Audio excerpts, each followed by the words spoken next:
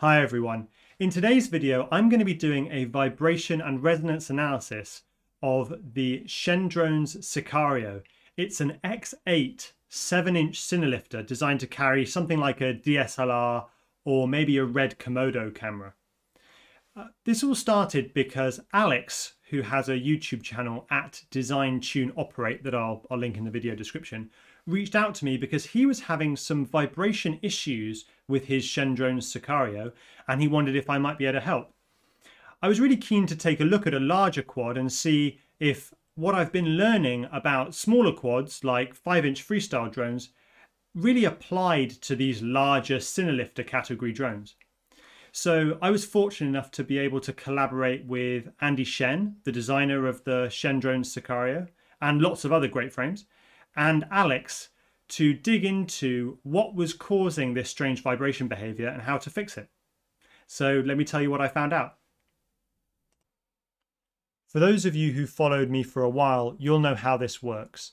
But for those of you who might be new, Andy Shen, the designer of Siccario, was kind enough to provide me with the CAD of the frame for this analysis and that information gives me as close to a perfect representation of the geometry of the frame as it's possible to get.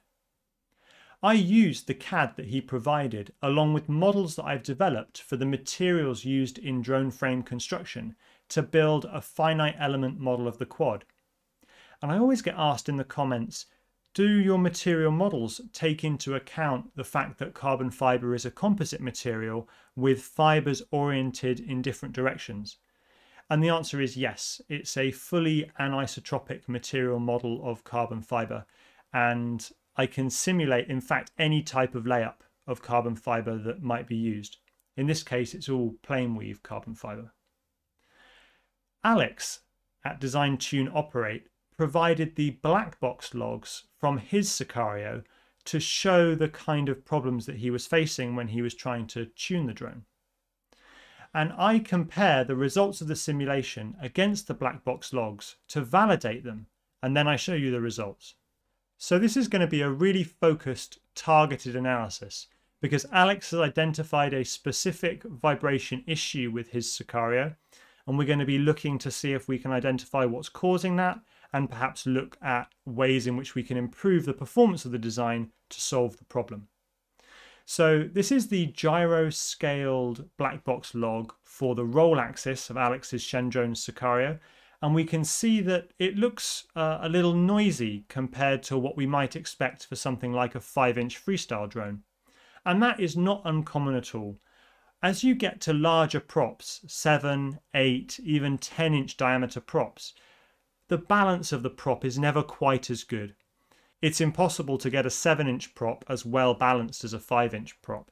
And so they do generate more vibration. And we can see that here in this large peak of motor noise. And this is not something that typically we need to worry about at all. This is um, perfectly normal for a larger drone like this and it's not going to be causing the vibration issues that Alex has identified. If we look now at the D term on the roll axis, so this is after all of the filtering that's applied on the D term, we can see that there's this really noticeable spike in the D term at just about 70 hertz. And this spike in the D term spectrograph is the real enemy here because this type of noise will really limit the maximum D gain and therefore the overall tune of the drone. And also, it could potentially cause D term oscillations at that frequency of 70 hertz if there isn't sufficient filtering on the on the D term and if the D gains are too high. It's really important to remember here that big quads like these Cinelifter quads need much more D term than 5 inch freestyle drones to fly well as a proportion of the P term. So the P to D ratio is much more weighted in favor of D for large drones like the Siccario. So this is very clearly a source of potential vibration issues with this particular drone. So let's look now at the pitch axis. And the first thing we can see is that pitch is a lot more well behaved than roll for this particular drone. And this is not particularly surprising given that the moment of inertia of the Siccario is very much greater on pitch than on roll, and more moment of inertia reduces the size, the amplitude of vibrations on the pitch axis for a given energy of vibration. So we see a smaller amplitude and therefore less noise in the gyro signal. Again, you know, there are there is some motor noise here. There are some motor vibrations that are coming through on the gyro scaled log, which is not surprising. And there's also a sign of a vibration just around maybe 60 hertz on the pitch axis. If we look now at the D term, we can see that, that the D term amplifies that tiny peak that we saw in the gyro scaled log to be quite a significant peak. And we can really notice this now, and although it's nowhere near as bad as what we saw on the roll axis, it could still potentially um, cause D-term oscillations, hot motors, um, and limit the maximum D gain that you can put on the drone. So it's something we would like to address if we possibly can. And finally, let's look at the yaw axis. Again, this is the gyroscaled log for the yaw axis. Now, yaw is interesting because it doesn't have a D term. So in that sense, it's a lot less sensitive to noise because the D term is what really amplifies and is very sensitive to gyro noise. We still see some vibration on the yaw axis, although it is the cleanest of the three axes. And again, we do see some evidence of this 70 hertz, approximately 70 hertz um, resonance here, which you know could could cause some problems, but certainly not on the yaw axis because, as I said, there's no D term here. So because we now know that we need to look at around 70 hertz to find this vibration, I conducted a harmonic analysis of the Shendrone Siccario. And what this does is it uses uh, simulation methods to work out what all the resonant frequencies and all the resonant mode shapes of the frame are. And then it can combine all those resonant modes together at any frequency that you want to look at in order to work out what the response of the drone will look like, how the drone is going to vibrate at that particular frequency when it's excited by the out of balanceness of the props and the motors. So the, the motors are going to excite this frequency, 74 hertz, and the harmonic analysis shows us exactly how the drone is moving. So we can see immediately that the drone is yawing from the left and to the right, and the motors are waggling on the ends of the arms all together to the left and then all back to the right. Or I should really say they're all moving clockwise and then counterclockwise because they're all rotating around the center of the drone. So this is the vibration mode that's causing Alex the problem with his Shendrone Siccario. It's vibrating in this way while it's in the air, and that's creating some difficulty with his tune. Now, although this is only one data point, I think it's important to mention that I have looked at all the resonant modes and frequencies of the simulation and compared them really carefully to the black box logs. And I found that I get an agreement in frequency of a little bit less than 5% for, for each of the modes. And so I'm really confident with that kind of agreement that the simulation is an accurate representation of what's going on with the drone in the air, and that we can use the simulation to help identify ways in which we can improve the design.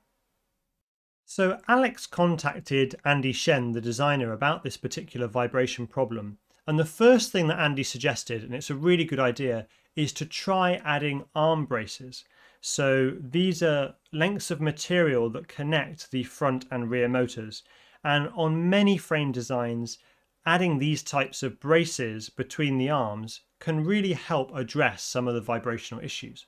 So here we're looking at a gyro scaled black box log and uh, the D term, both on the roll axis, for a flight with these arm braces added to the drone.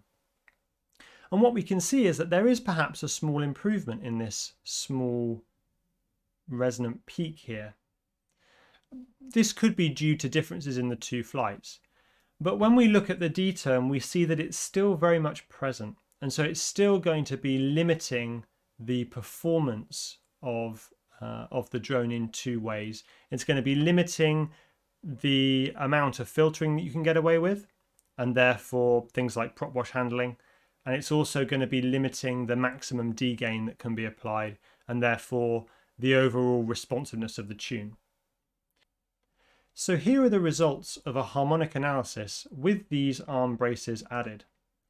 And what you can see is that the nature of the vibration has changed in some ways, but stayed the same in other ways. So now rather than all the motors moving together first clockwise and then anti-clockwise, we now see that the braces have linked the left and right arms together. So now they move forward and back together. And in fact, they we see that both the left and the right arms move forward together and back together. But you can see as well that we've still got that same flex in the arms with the motors moving forward and back and that the amplitude of the vibration has been reduced slightly but it's not been completely eliminated by the braces. So this is the point where Alex got in touch with me and asked me, based on the experience that I have with looking at vibration and resonance in these smaller 5-inch drones, is there anything more that could be done to improve the performance of the Siccario over and above just adding these arm braces? And to try and show how we can improve the performance even further, I've got a little bit of a different type of plot here. Rather than looking at the displacement of the arms, we're now actually looking at the stress in the arm material itself. So if I play this video, you can see that as the arm vibrates in this resonant mode, you can see that there's quite a lot of stress developing in the arm just in that uh, bent section. And in this area here, you can really see that the material, the carbon fiber, is working really hard. And that's where I think that there could be an improvement to the design. You can see that there are lots of these holes that have been cut into the arm, and these are there to try and reduce the overall weight of the drone. But in this area where the arm is experiencing quite a lot of stress in this vibrational mode, we could improve the performance, the vibrational performance of the drone a lot by removing the holes that have been drilled here. It will make the drone slightly heavier, but the added stiffness of the extra carbon fiber in that area will really help improve the vibration performance by increasing the frequency of the vibrational mode and therefore making it easier to filter, and also reducing the amplitude of the vibrational mode for the same amount of vibrational energy that's input by the motors. So the first thing to try is to remove these holes and avoid weakening the arm in the most critical, most stressed location for this vibrational mode. But that's not the only thing that we can try. The nature of carbon fibre is that it's an anisotropic material, which means that its strength and stiffness is really dependent on the direction in which you load it. And what we can see from this mode is that the axis of torsion that's really critical is in the vertical direction. So we need to maximize the torsional stiffness of the arm in that direction so that it's most able to resist that load. And in order to maximize that torsional stiffness in a particular direction, we need to consider the carbon fiber layup direction of the arm, the anisotropy of the carbon fiber material itself. So currently, the way the arm is cut, the 090 layup of the carbon fiber is orientated vertically, which means that we have half the carbon fibers in this vertical direction and half the carbon fibers in this horizontal direction.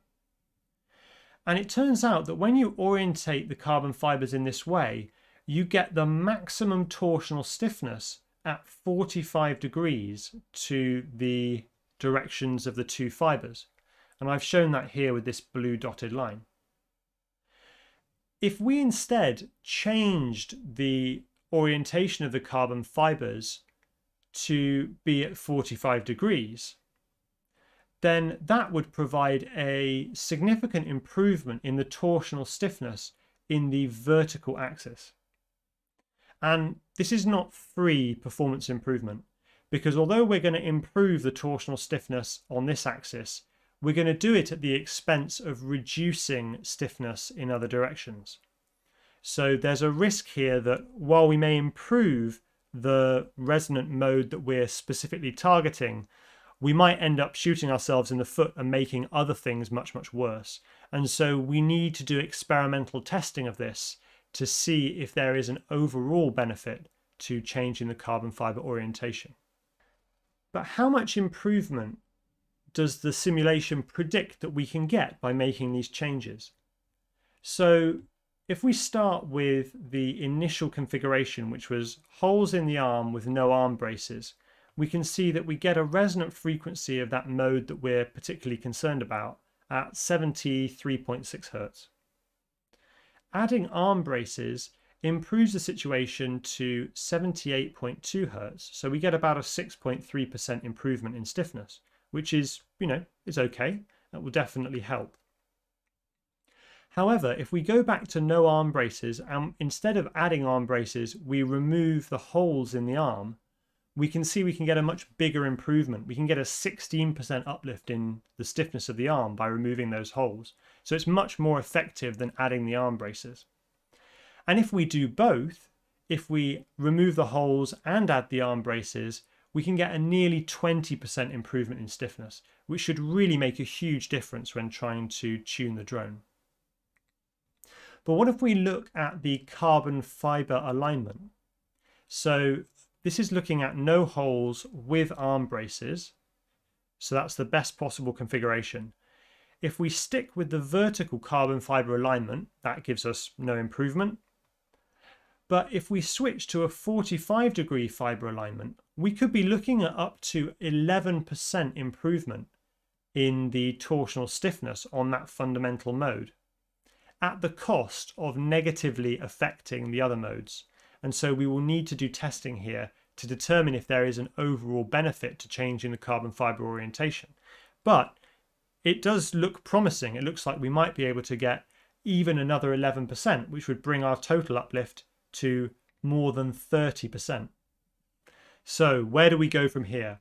Well, Alex at Design Tune Operate will actually be testing these recommendations that I've made on his Siccario. So he's going to be trying some arms with no holes and he's going to be trying some arms with the carbon fiber oriented at 45 degrees rather than 0 and 90.